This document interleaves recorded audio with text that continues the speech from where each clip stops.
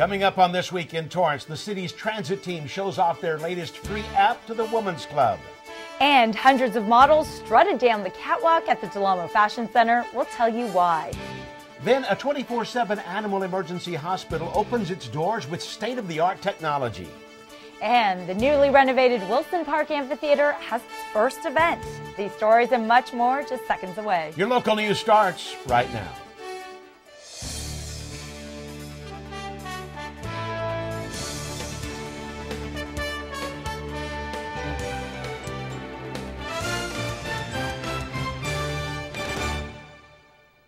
Hello and welcome to This Week in Torrance. I'm Julie Chan. And I'm Ben McCain. Thanks so much for joining us. Here are your top stories. Torrance City Manager Leroy Jackson announced the appointment of the interim police chief for the Torrance Police Department. Torrance Police Chief Mark Matsuda will retire in August after 30 years of service to the city. Michael J. Browne will step in as the interim police chief. Browne retired from the Torrance Police Department in 2011, but before that he served as a deputy police chief and held a variety of positions and assignments in the departments for 38 years. This included work as a detective, gang sergeant, watch commander, and special operations, to name a few.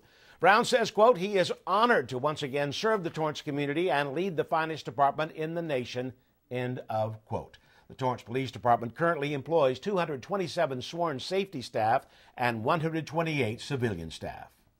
The City of Torrance has a brand new website that gives you access to everything city related. The redesign concept for the new website was to create visually attractive pages, make it easier for people to find information, and help make frequently used pages more accessible.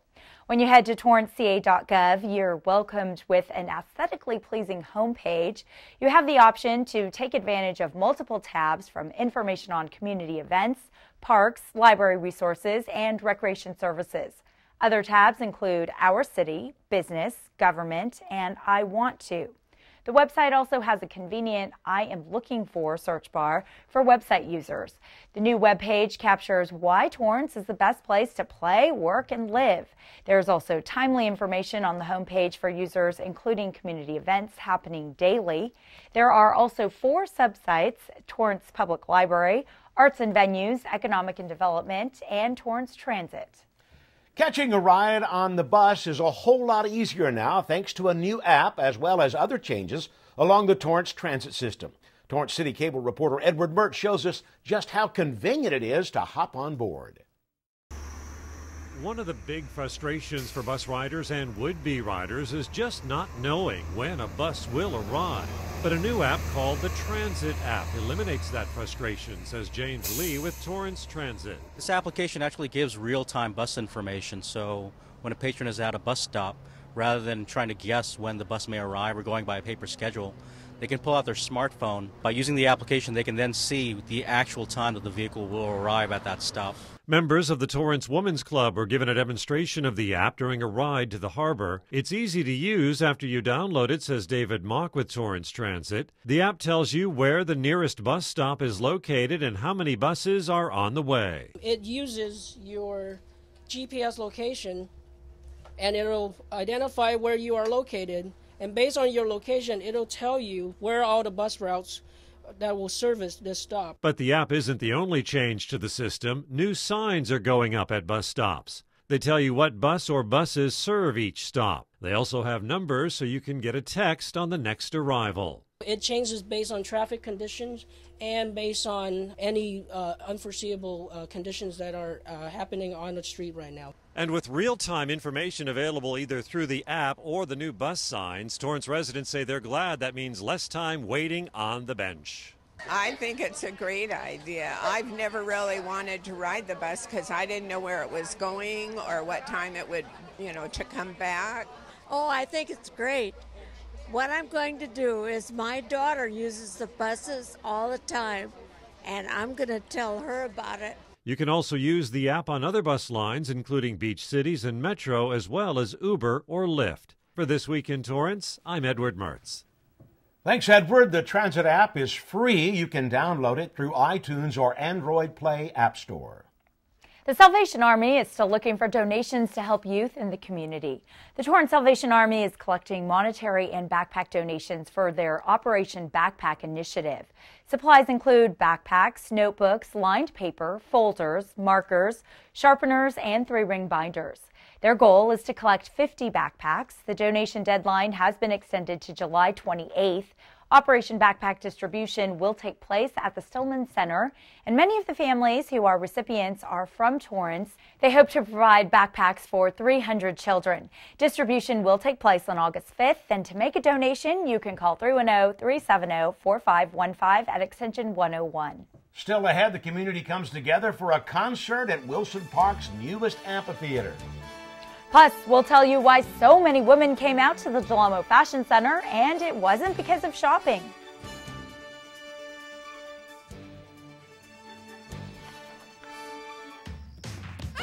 What? The storks are bringing me a baby brother. Storks know how to keep kids safe.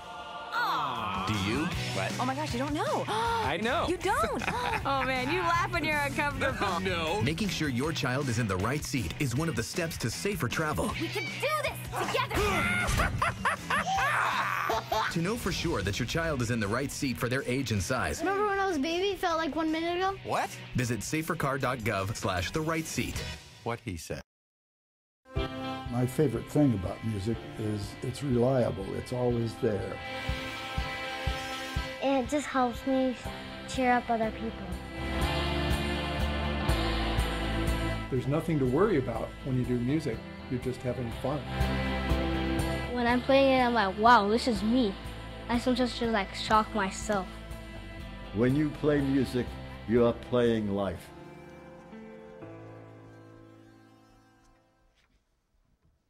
If you ever need services during an emergency situation for your pet, well, there's a place in Torrance that will always be there. Access South Bay is open 24 7. The hospital is one of a kind. The services include critical care, soft tissue surgeries, internal medicine, and their specialists like a neurologist to a radiologist. They use state of the art equipment like an MRI system and can get results within minutes with in house diagnostics. Their trauma center includes critical care specialists that can handle the most complex life threatening situations, as well as urgent care type treatments. Officials say they work just like a human hospital. In addition to that, we do in our surgery suite, for example, we have a large suite that does also have fluoroscopy.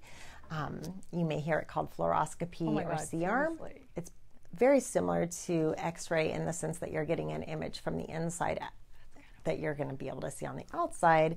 However, it's actually moving X-ray, so we actually see motion. You can contact the Animal Hospital at 310 320 8300.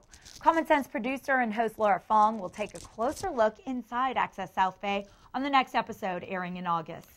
Wilson Park was full of excitement and musical tunes as the band Mystic Wave took to the stage. This annual event was extra special this time.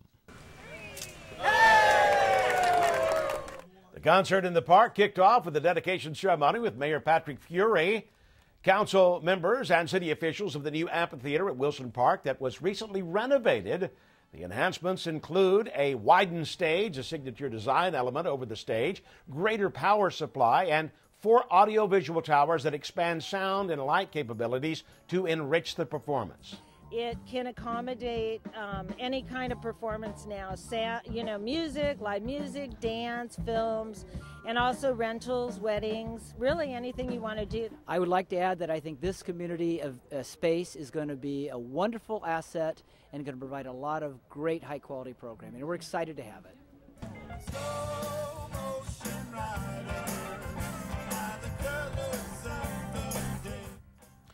The band Mystic Wave performed at the city's annual Concert in the Park event, which took place at the newly renovated gazebo. Attendees came out with family and friends and took a seat as the band performed. Mystic Wave is a community outreach band associated with Soka Gakkai International. The band that is made up of nearly 20 members perform both fun and funky tunes that are a blend of jazz, Latin, and old school soul styles.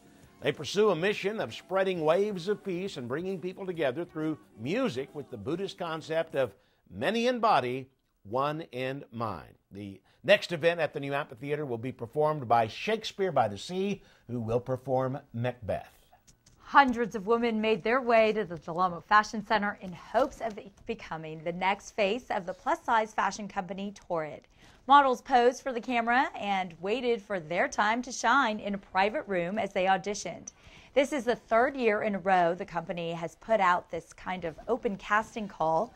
The popular fashion brand is known for their plus size apparel and their simple message to empower women of all sizes to wear what they love. The first city they visited was Torrance. Company officials say they're looking for models age 18 or older who wear sizes 10 through 30. Women showed uh, off their modeling skills to representatives of the brand and met with Torrid 2017 Model Search winner Maria Jimena, along with judge and supermodel Candice Huffine.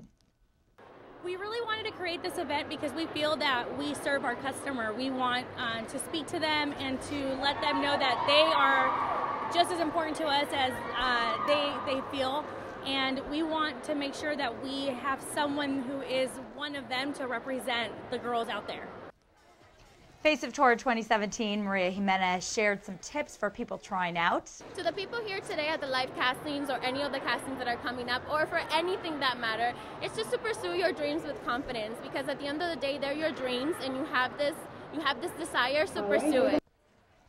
There are four more cities the company plans to stop at before narrowing down the candidates to the top 10. Once they narrow it down to four models, America gets to choose the best model. The winner will receive a Torrid modeling contract and wardrobe. Torrid carries apparel, accessories, swimwear, lingerie, and footwear for plus size women. This year, they expect more than 15,000 women to apply.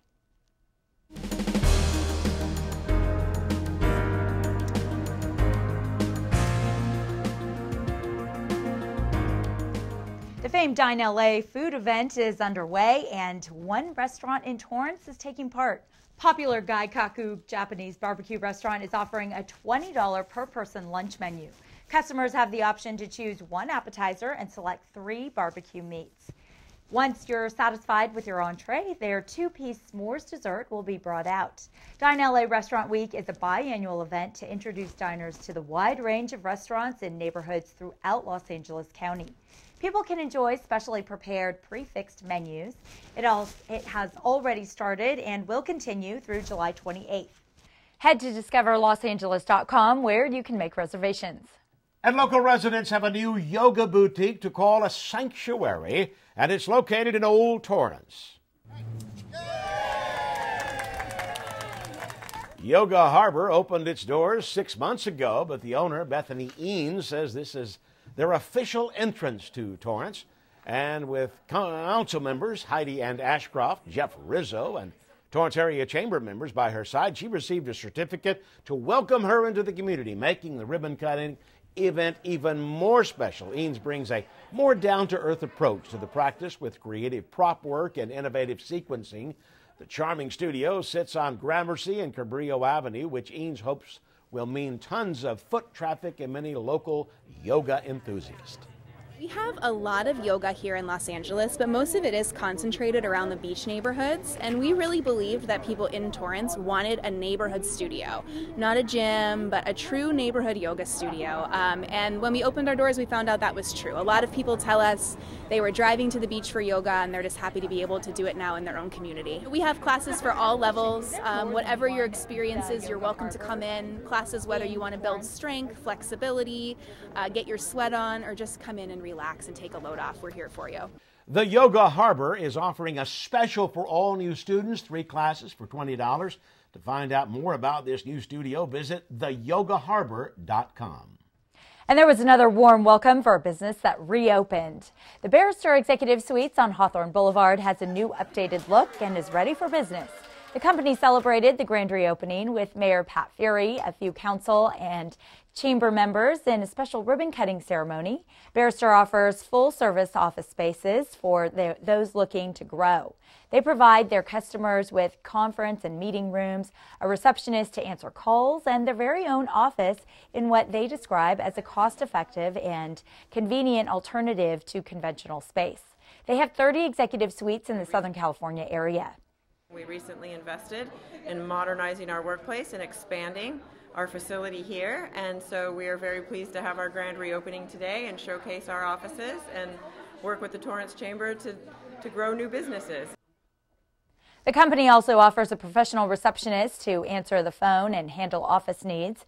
You can have 24 7 suite access and security. There are three locations in Torrance 21250 Hawthorne Boulevard, 3868 and 3838 Carson Street. Smog City Brewery staff and patrons cheered to supporting the environment and community with their recent partnership with a global nonprofit. Owners Laurie and Jonathan Porter invited guests to join them in recognizing a new relationship with 1% for the Planet by hosting a launch event. The organization partners businesses with nonprofits who support and protect the planet. And now Smog City will be donating 1% of their gross revenue to help with their efforts. To take it a step further, a portion of the proceeds from the launch event will go to another nonprofit Food Forward, a Los Angeles based organization who recovers produce that would otherwise go to waste and donates it free of charge to agencies who feed the hungry all over Los Angeles County. The business has already been working with Food Forward for three years. 10% of the proceeds from all the beer sold tonight is going to Food Forward, which is an amazingly generous gesture on their part. And it was a way to see the facility and just meet and greet the community that just call this place home. So I'm here to, to represent the Food Forward crew and to say thank you to Laurie and her husband and just to, um, to show that local small partnerships work in nonprofit and small businesses, and we need more of them. During the festivity, the collaboration beer Kumquat Saison was offered to patrons. This beer represents the partnership with Food Forward, where waste, community activism, and craft beer go hand in hand. Last year, Food Forward rescued over 15 million pounds of produce across Los Angeles that otherwise would have gone to landfills. The Porters say this partnership shows customers that Smog City is more than just a business. To stay up to date with the brewery, visit smogcitybrewery.com. A member of the Torrance Area Chamber of Commerce hosted a business mixer for the community. Members mingled and learned more about the Switzer Learning Center where the mixer took place. The Torrance Area Chamber of Commerce has been doing mixers for more than 20 years. It's an opportunity to learn more about the various and diverse types of businesses that are in this community. The Switzer Learning Center represents 10 school districts and is a school that helps students with learning. This event is about thanking uh, the people from the chamber that know us and introducing us to the ones that don't. There are many here that uh, really did not know that we existed and who we were. And unfortunately, we're one of the best kept secrets in the South Bay. When you have a child with special needs, it's often that there's a little bit of shame involved in it, and so people don't really brag about having come to Switzer Learning Center. But many people, when I go to events, will say, Oh, I have this neighbor or my grandson or whatever. The Switzer Learning Center has been part of the Chamber for more than 40 years. Pizza Hut announces that it's looking to hire across the country. The popular pizza company wants to hire 14,000 new drivers this year. The positions will be permanent and be a mix of full and part time. Officials say that about 3,000 will be added each month for the rest of 2017. Pizza Hut will soon have a new technology system to improve the reliability and accuracy of its deliveries. The Pizza Hut location on Pacific Coast Highway and Artesia Boulevard here in Torrance are both looking for delivery drivers. If you're interested in a job opportunity, you can apply at jobs.pizzahut.com.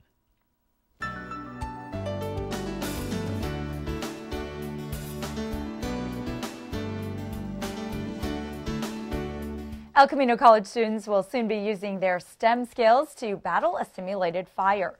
The college announced that its Industry and Technology Division is partnering with Northrop Grumman Aerospace Systems to sponsor an exciting event coming up called the Global Innovation Summit.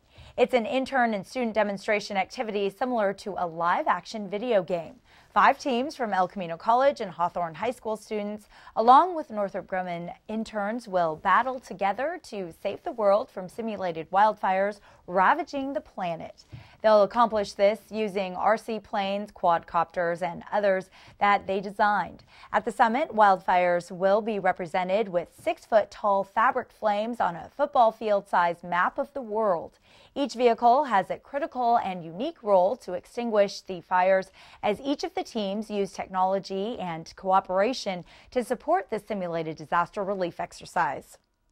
The summit will take place on July 28th from 9 a.m. to noon at El Camino College's Murdock Stadium. It's free and open to the public.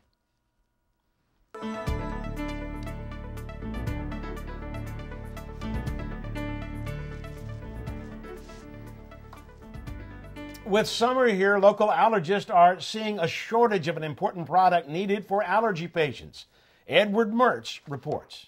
Right now, there is a shortage of insect venom uh, extract that we use for allergy shots.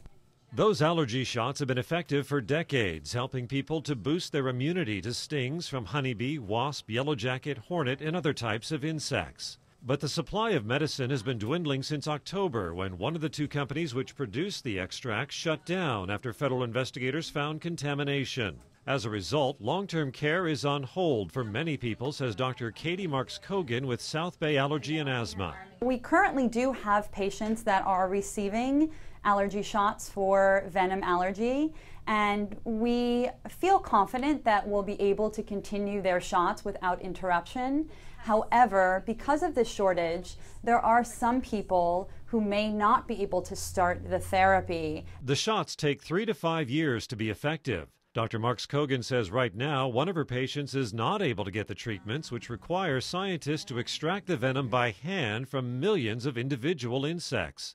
And she says if you are stung, you'll find out quickly if it could be life threatening. It will almost always occur immediately. So within, within 30 minutes. And if you find out you are at risk from the stings, she says get an EpiPen. It's the only life saving medication that can be used in this situation. If you or someone you love is at risk of a severe reaction from a sting, you're going to want to keep an EpiPen with you. They're easy to use. You pull off the cap, plunge the orange needle into your upper outer thigh, count to five, and then you get to an emergency room as fast as you can. Obviously, just to monitor that that immediate medication helped you in that moment. And to make sure you don't have another immediate reaction. For This Week in Torrance, I'm Edward Mertz. Thanks, Edward. Doctors are estimating a 25 to 30 percent drop in the supply of venom extracts.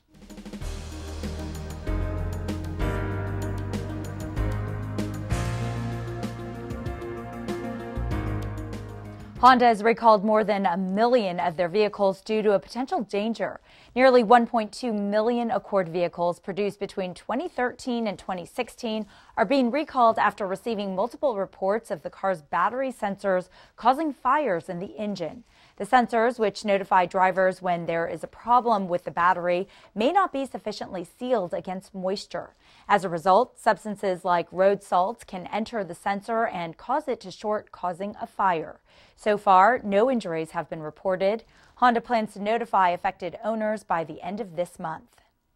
And still ahead, we've got some great upcoming events you won't want to miss. We'll be back in just 60 seconds. Don't go away. What? I have some news for you. There's free food right there, junk food. You see that truck? Oh, jeez. It's a two Michelin star chef. All for free, ladies and gentlemen. All for free. Here we have a panzanella with summer vegetables and pesto. Enjoy. How we doing? Fantastic. So what do you got going on underneath that plate there? This food is really about to be thrown away. Yeah. Bro? Is there, is there something wrong with this food? Where did you get it from? From farmers markets. They put aside the ugly vegetables and the ugly fruits. Carrot top, soft avocados. It was all food that was going to be discarded. Even the drink you had is made from like a little bruised peach. Did it taste a little bruised? Great. It was good. The average person throws away 24 pounds of food a month. That's a lot. Isn't that a lot? Go visit savethefood.com for more information. Thank you. Junk food time!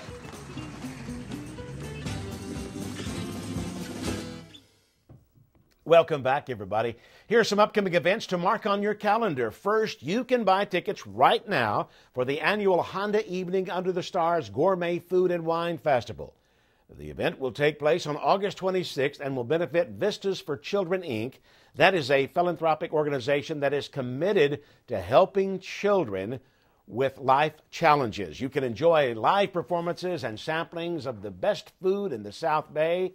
For tickets, go to facebook.com slash evening under the stars. And the Torrance Rosefloat Association is having a fundraiser at Hoff's Hut in Torrance on July 27th. It will take place all day. You can head to the torrancerosefloat.org for the flyer. Then, Movies in the Park is hosting another night of fun. You can stop by the Portola Park on July 29th to watch Finding Dory. Bring your picnic basket, blanket, and lawn chair for the entertainment. The movie will begin at 8 p.m. That does it for us on This Week in Torrance. I'm Ben McCain.